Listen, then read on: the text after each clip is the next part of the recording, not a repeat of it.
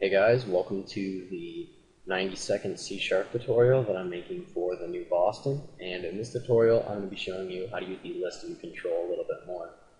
So in the previous tutorials, I told you to make it so that users cannot select more than one item in the list view.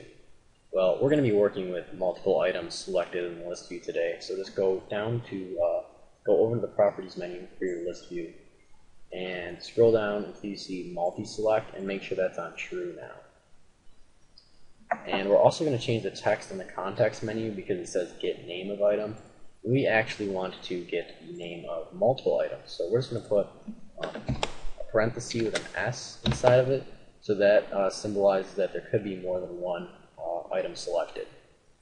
So now we debug here just to make sure that we can select multiple items. Let's just test it. I'll add a few items here. So now when we hold down control, we should be able to select this item as well. Or if we hold down shift, it should work. Yep. Okay, so now let's just edit the what the co what code executes um, when you double click on this in the context menu. So currently we just get the first item that is selected, and you can tell because this is a zero. And this basically means the index of the selected items. And this works fine for when you only have um, one item selected because it'll just get the first item in the collection. If you have two or three items selected, then this will just go for the first item you selected. So let's go ahead right here and see what happens, since you can select multiple items. So now if we select both of these, we're only going to get DFG. Yeah, and not another one, because we only tell us to get the first item selected. If we wanted to get the second item selected, we just put a 1 there. Got another one. So now we should get, um, yeah, ASDF because that was the second item we selected. If we wanted to loop through or get all of the items that we have selected, we can use a for each statement. So we're going to do for each, and then I'll just create a new list view item, call it LVI, in um, all the items that the user has selected in the list view. So we're going to use the selected items property. So now it'll loop through every item that the user has selected in the list view. And we're just going to have a message box display the full name of that item. So we're going to do LVI dot sub items.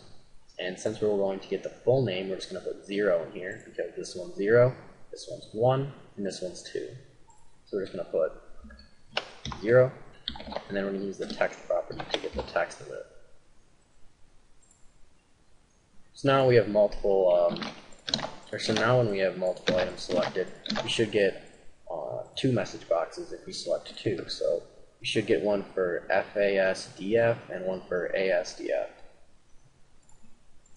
Yep, and yeah, two message boxes. If we add another one, I'll rename this to something else like Adam.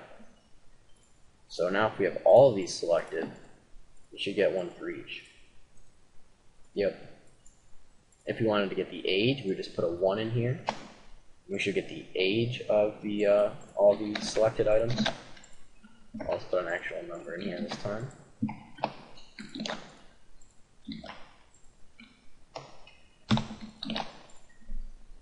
Now let's just select all three of them right here.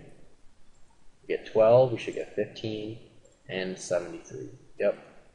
And you can do the same thing with the email. Let's put a 2 here, and you get the email address of the persons, or of the people selected. So that's pretty much it for this tutorial on dealing with um, multiple selected items.